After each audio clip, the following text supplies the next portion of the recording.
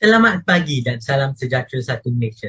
Saya Divius Pemeriksa melaporkan untuk berita harian PSS St. Francis yang kini berada langsung di Seri Pentas. Pencemaran dan hakisan laut di pantai Putri Melaka semakin menjadi teruk. Keadaan ini menyebabkan ramai penduduk telah berpindah. Oleh sebab ini, Said Muhammad Sajad selaku wartawan kami kini berada di pantai tersebut. Saya akan menyerahkan masa saya kepada beliau untuk melaporkan selanjutnya. Terima kasih Dibel dari Seri Pentas. Saya saya Muhammad Sajad di lokasi hakisan. Angin kencang sejak petang malam semalam memburukkan lagi hakisan di Pantai Puteri dan dibimbangi akan bertambah lagi teruk pada masa akan datang. Air naik hingga agak tinggi menyebabkan hakisan lebih teruk.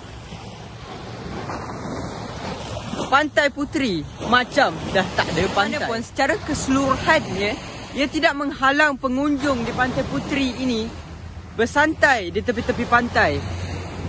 Ahli Dewan Undangan ADUN, Dato' Nur Azman Hassan berkata, walaupun fenomena air pasang di Pantai Puteri ini tidak tidak seteruk di Pantai Morib Selangor, tapi ia tetap memburukkan lagi hakisan di Pantai Puteri. Anda tengok sendiri berapa teruknya kesan hakisan di sini.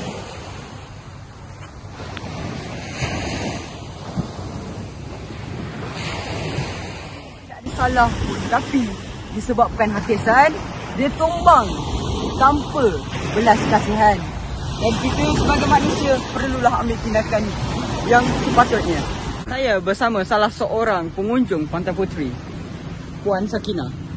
Okey Puan Sakina apakah pendapat anda terhadap situasi Pantai Puteri sekarang terhadap hakisan semua itu uh, pada pendapat saya hakisan di Pantai Puteri amat membimbangkan uh, di mana kita boleh lihat akar-akar pokok semakin hari semakin banyak yang terbongkas daripada tanah-tanah.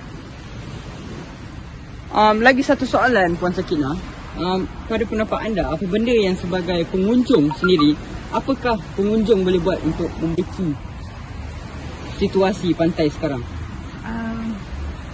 pada pandangan saya, para pengunjung sepatutnya mempunyai ada rasa tanggungjawab iaitu lebih menjaga kebersihan pantai, uh, pastikan sampah-sampah tidak dibuang merata-rata uh, dan juga kita boleh uh, menjadi uh, suara-suara supaya sering menyatakan kepada pihak-pihak yang berkepentingan untuk menjaga uh, pantai ini tidak menambahkan lagi uh, faktor-faktor yang menyebabkan hakisan pantai.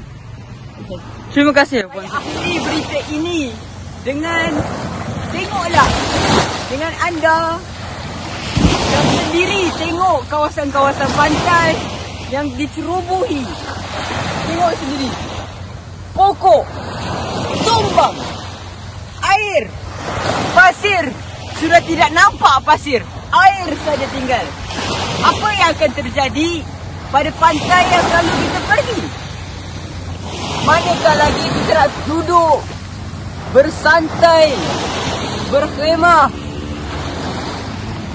Sekian Terima kasih Dan Terimalah mutiara kata saya Barangkali manusia selalu fikir negatif tetapi ter- mereka tidak tahu apa erti sebenar bencana alam. Bencana alam itu adalah tanda bahawa alam tengah marah dengan perlakuan buruk manusia. Saksikanlah kekisan ini